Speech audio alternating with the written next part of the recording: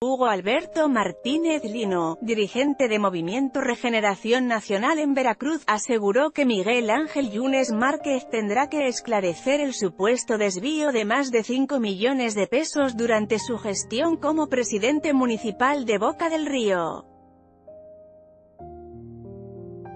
De acuerdo con Imagen del Golfo, al visitar las instalaciones del periódico, Martínez Lino advirtió que los diputados locales de Morena van por la destitución de Jorge Winkler Ortiz fiscal general del Estado, por lo que promueven otro juicio político.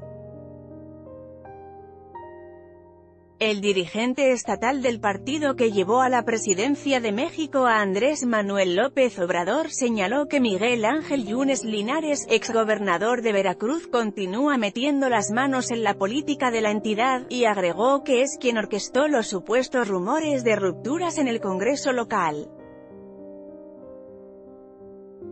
Luego de advertir que el hijo de Miguel Ángel Yunes Linares tendrá que aclarar a dónde destinó 5,3 millones de pesos, Martínez Linio criticó las declaraciones de Javier Duarte de Ochoa, exgobernador de Veracruz, en las que asegura que su esposa Karime Macías y sus hijos viven, austeramente con 180 mil pesos al mes.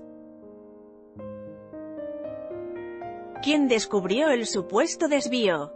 De acuerdo con el Heraldo de Coatzacoalcos, la Auditoría Superior de la Federación detectó el presunto desvío de recursos de Yunes Márquez, y advirtió que durante su gestión en Boca del Río se registró una deuda pública por 100 millones de pesos, los cuales no fueron autorizados por el Congreso local. En el informe Resultados de la Cuenta Pública 2017, la SF detalló la deuda y aclaró que verificaron que la Secretaría de Finanzas y Planeación realizó retenciones de participaciones federales de hace dos años por 2.189.300 pesos bajo el concepto de pago de capital de intereses de la deuda pública. Con información de El Heraldo de Coatzacoalcos, Revolución 3,0 e imagen del Golfo Foto, creada con imágenes de Revolución 3,0 e imagen de Veracruz Anímate a comentar. Queremos saber tu opinión. Comentarios Powered by Facebook Comments.